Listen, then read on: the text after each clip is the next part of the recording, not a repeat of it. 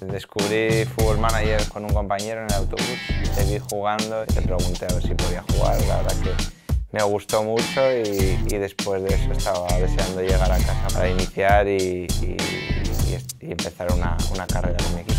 Lo primero que hice fue intentar eh, encontrarme en el juego, ver mis características, jugar al juego. En el hotel antes del partido te ayuda a pasar las horas más rápido en el, autobús, en el avión, recuerdo jugar en la tablet con, con, Fernando Torres y siempre te daba la opción de ver a algún jugador y, y poder firmarlo para tu equipo. Conocí la Premier League y los jugadores. A través del juego tuve la oportunidad de jugar, pero no, no escogí Chelsea antes de venir aquí.